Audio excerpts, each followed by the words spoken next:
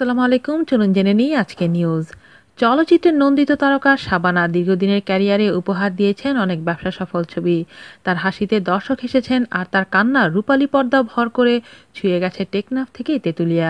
সিনেমায় তার মাতৃত্বের আবেগ, হাহাকার এতটাই সাবলীল ছিল যে তিনি হয়ে উঠেছিলেন আদর্শময় রোল মডেল কিন্তু নানা কারণে দু হাজার সালের পর সিনেমা থেকে নিজেকে একেবারেই গুটিয়ে নিয়েছেন।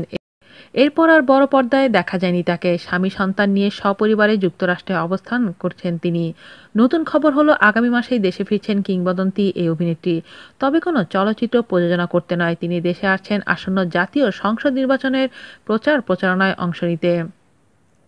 সেজন্য কয়েক মাস তিনি বাংলাদেশে থাকবেন। শাবানার স্বামী, চলচ্চিত্র প্রযোজক ওয়াহিদ সাদিক যশোর ছয়, কেশবপুর সংসদীয় আসন থেকে এবারে জাতীয় সংসদ নির্বাচনে অংশ নেবেন।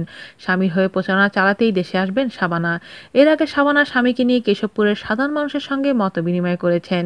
সর্বশেষ গত আঠারোই জুলাই যশোর উপজেলার সাগরদাড়ি ও স্বামীর জন্মভিটা বরেঙ্গা গ্রামে এই মত বিনিময় করেন। সে সময় মত বিনিময়কালে স্থানীয় সাংবাদিকদের এক প্রশ্নের জবাবে শাবানা জানিয়েছিলেন, প্রধানমন্ত্রী শেখ হাসিনার সঙ্গে সাক্ষাৎকালে তিনি শাবানাকে নির্বাচন করতে বলেন।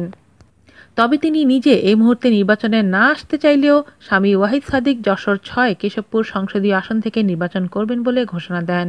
ওই সময় এফডিসিতে গিয়ে চলচ্চিত্রের সহকর্মীদের সঙ্গেও দেখা করেন শাবানা। চলচ্চিত্র প্রযোজনার পাশাপাশি অভিনয়েরও প্রত্যয় ব্যক্ত করেছিলেন তিনি। সবকিছু ঠিক থাকলে আবারও তিনি চলচ্চিত্রে নিয়মিত হতে পারেন বলে আশ্বাস দিয়েছিলেন। আজ এ পর্যন্তই। ভালো থাকবেন সবাই। আল্লাহ হাফিজ।